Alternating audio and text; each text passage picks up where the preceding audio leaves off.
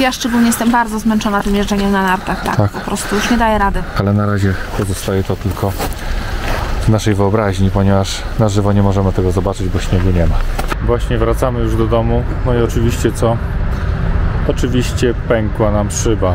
I powiem tak, motyla noga, kurcze pióro. Ktoś powie z młodych, ale boomer. Dzisiaj kolejny dzień naszego pobytu na nartach, ale musimy sobie zrobić przerwę, bo troszkę wczoraj przesililiśmy siebie. Tak, ja szczególnie jestem bardzo zmęczona tym jeżdżeniem na nartach, tak, Tak. po prostu już nie daję rady. Nie, trochę nas dzisiaj nogi bolą, trochę wiązadła za bardzo ponaciągane są, więc e, takiej dużej przyjemności byśmy e, nie mieli dzisiaj jeżdżąc. A poza tym znowu deszcz pada, a... Deszcz pada, chociaż, chociaż teraz za godzinę ma zacząć padać śnieg, co już troszkę widać, że Tak, już pada tak, śnieg już z deszczem. śnieg z deszczem. I ma być minusowa temperatura, także może coś tam e, napada nam więcej, bo w tej chwili to wygląda słabo. A jeszcze chciałem tylko pokazać e, z tej strony, jak wygląda ten pensjonat, w którym mieszkamy. A wygląda on tak. I tutaj z tamtej strony, tam, z tamtej strony, tam mamy piękny widok na te stoki narciarskie, na których my już w tej chwili jeździmy. E, ale to są te niższe partie tych stoków, tam nie ma tego śniegu. Także jak jest śnieg, to tutaj musi wyglądać bajkowo. Te choinki, które są ośnieżone, no tak, ale na razie pozostaje to tylko w naszej wyobraźni, ponieważ na żywo nie możemy tego zobaczyć, bo śniegu nie ma.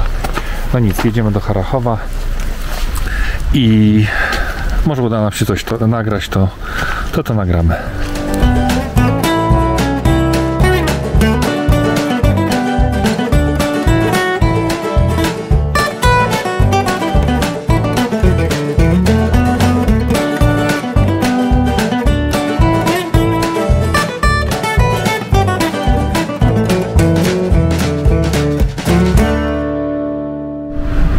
Ceny paliwa mamy takie. Jest to porównywalne do tego, co jest e, w Polsce. Także nie ma tutaj jakichś bardzo dużych różnic. A my jedziemy dalej do Harachowa. Dojechaliśmy do Huty Szkła Tak jest. w Harachowie. Jest Tutaj. naprawdę ciekawie, już się zapowiadaliśmy już w sklepie. Kieliszków mają co niemiara i słuchajcie, e, tak naprawdę Huta od samego początku zajmowała się wyrobem właśnie takiego szkła alkoholowego. E, no i w tym kierunku poszli. Teraz jest, jest w ten sposób, że oprócz tych szkieł głównie do picia właśnie różnych, przeróżnych alkoholi, e, są też jakieś tam wazony, takie drobiazgi, dlatego jest zdecydowanie mniej, bo już w sklepie widzieliśmy. I słuchajcie, robią jeszcze kryształowe żyrandole.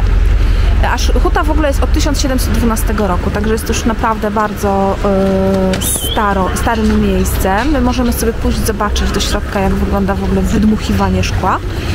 E, No i cóż, to chyba wszystko. A, jeszcze taka ciekawostka, że w tej chwili pracuje tutaj około 100 osób, 100 pracowników, a przy kasach jest taka fajna rzecz, że e, są karty, które pracownicy podbijają i jest taka fajna maszyna, taka jak kiedyś była. E, A jeszcze jeżeli chodzi o bilety, my zapłaciliśmy za dosłownie 200 koron. I to jest z przewodnikiem. Dostaje się też fajną e, informację na temat historii Huty.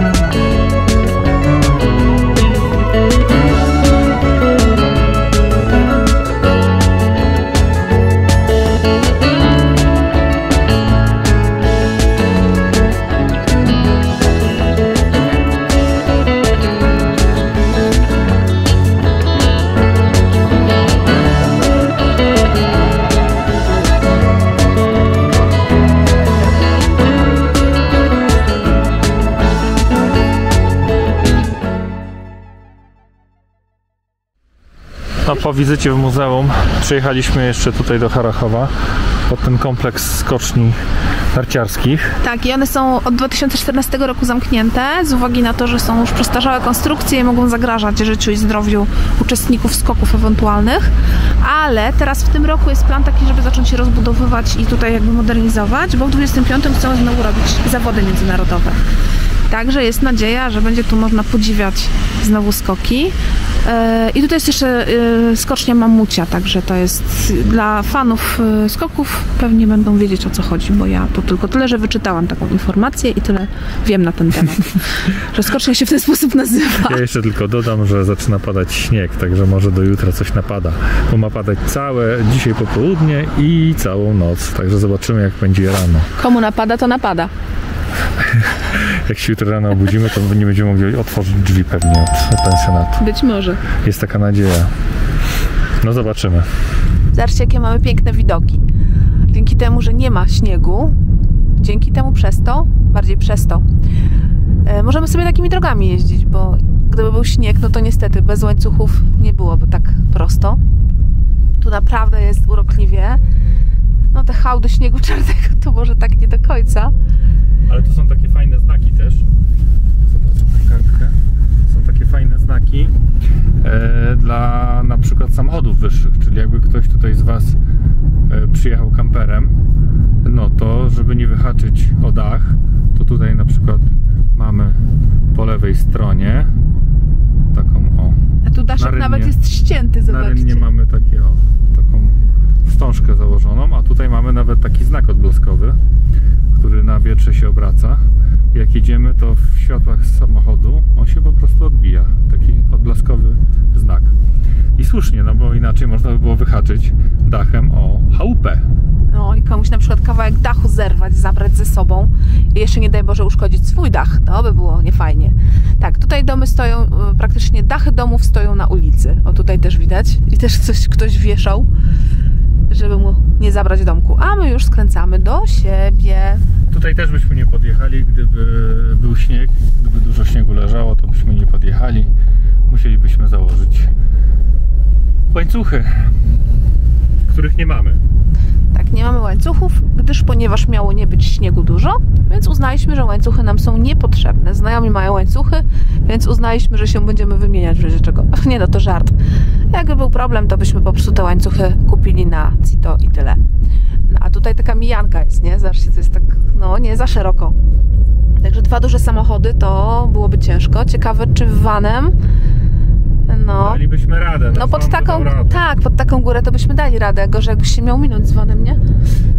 Jak, No, ja, to miałam, prawda. ja miałam wczoraj taką przygodę, żeby musiałam się mijać z autobusem na takiej na takiej wąskiej drodze i autobus jechał po prostu jak u siebie.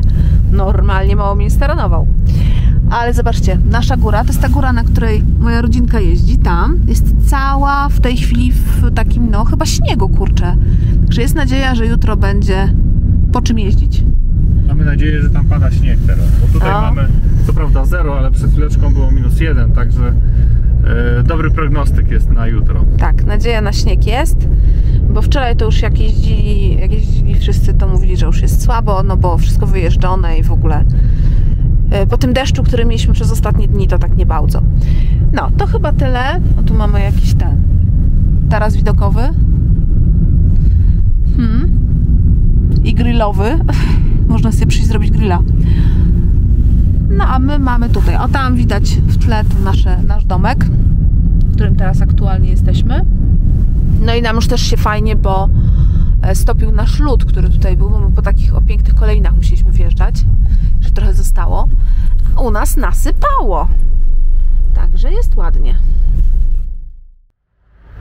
Właśnie wracamy już do domu, no i oczywiście co? Oczywiście pękła nam szyba. Jakiś kamień spod tira znowu uszkodził nam szybę. Kolejny samochód, w którym mamy uszkodzoną szybę. To znaczy tutaj już raz mieliśmy. Zobaczcie, tutaj już raz mieliśmy uszkodzoną jak przyczepą jechaliśmy, a teraz znowu nam to pękło. Także no mamy pecha do tych szyb. Niestety ta szyba jest szybą podgrzewaną, więc tutaj są duże koszta. Ach, co za pech. Kończymy tego vloga. Jeszcze zajechaliśmy na stację. i do Maka na kawę, bo jeszcze kilometrów trochę przed nami. No i cóż, wyjazd skończył się pechowo. Pechowo dla naszej szyby. Na szczęście nam z Matyldą na nartach nic się nie stało, jesteśmy cali, zdrowi. I tyle, dzięki, że byliście. Trzymajcie się i do następnego. Hej.